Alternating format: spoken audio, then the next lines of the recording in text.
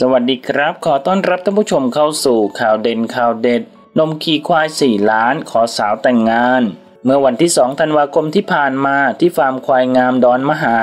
บ้านดอนบมตำบลหนองจิกอำเภอบารบือจังหวัดมหาสารคาม บินบารบือเจ้าของฟาร์มควายงามดอนมหา พัฒนาสายพันธุ์ควายสวยงาม ส่งเข้าประกวดได้รางวัลหลายเวที ล่าสุดถือเลิกดีขี่ควายเจ้าเทพมงคลตัวละ4ล้านบาท เพื่อขอเจ้าสาวแต่งงานในวันที่ 28 พฤศจิกายน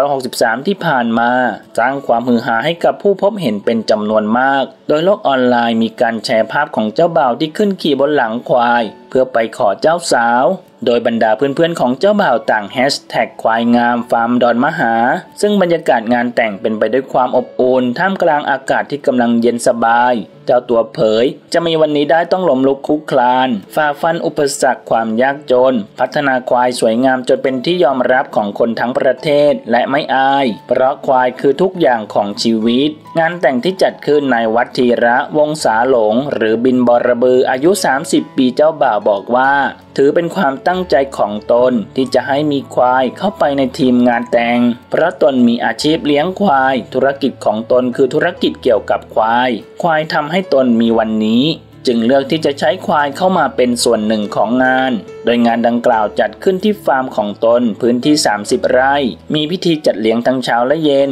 แขกที่มาร่วมงานนอกจากจะเป็นญาติพี่น้อง ก็ยังมีมิตรสหายในวงการควายมาร่วมงานเป็นจำนวนมาก ท่านผู้ชมล่ะครับ มีความคิดเห็นอย่างไรกับเรื่องนี้ลองแสดงความคิดเห็นกันเข้ามาดูนะครับ ขอขอบคุณข้อมูลจาก Siam Topic ขอบคุณครับ